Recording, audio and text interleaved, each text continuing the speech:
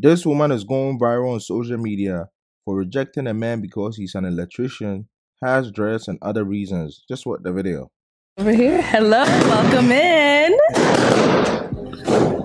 All right. My name is Terrence. I'm from Alabama. Electrician. I also a DJ, and I also uh, do battery work on cars. Okay.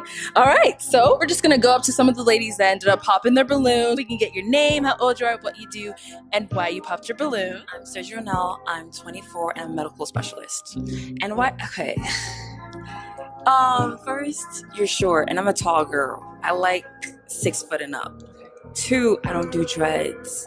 And then you're electrician. I'm thinking about like businessman, doctor, lawyer, because I'm trying to like find a man who could provide for my kids and provide for me.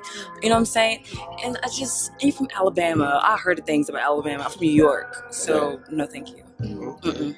What you hear about Alabama? I feel like Alabama, I don't you think know. you want to know. Let us know. What what have you heard? Uh, you could probably marry your sister. nah, I, oh, I, it's a, it's a little. I've been there. It's a little weird over there. So no, thank you. okay. Okay. She coming for your people. I know, I know. I can't even let her go like that. Okay, and is she somebody that you would approach? Is she your type? Like anything you like, don't like? No, I don't think I like her attitude. I don't like the attitude. I think you think you're a little up there. I mean, a little No. I think you think I'm up there. no, I don't. I don't. I yes, don't. you do.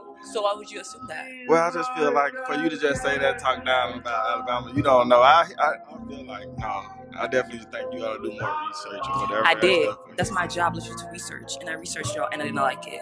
Okay. Well, no, I definitely wasn't talking to you though. No, it's okay. Yeah, So just the attitude. yeah, it's not that cute even. so- Oh. Oh, not cute either. okay. All right. So He thinks I'm cute. He thinks I'm cute. He can't admit it. You know I'm cute. Nah, you're not ugly, but you're not cute either though. You know. You You know I'm cute.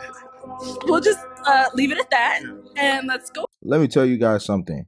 When you ask somebody what they do for a living and they say medical specialist, that person is either a CNA or home health aide for granny. I'm not saying there's anything wrong with that, but if she's looking for a lawyer, doctor to take care of you, and you can't even give a proper description of what you do, I'm sorry, but you a bum. Because what the fuck is a medical specialist? And to downplay the man for being an electrician like they don't make good money is delusion 101. Electricians make more money than most businessmen. He will never be out of work learning that trade. These type of women all want a man with unlimited time, money, and resources. And as we know, nobody on earth has all those things. She talking about a lawyer or doctor, but you are here at a balloon popping event. Who did you think was going to walk through? Idris Elba? Props to the man for handling that well. Fellas, this is what we got to deal with. Y'all better be safe out here, man, because the dating pool is full of piss. But hey, let me know what you think in the comments down below.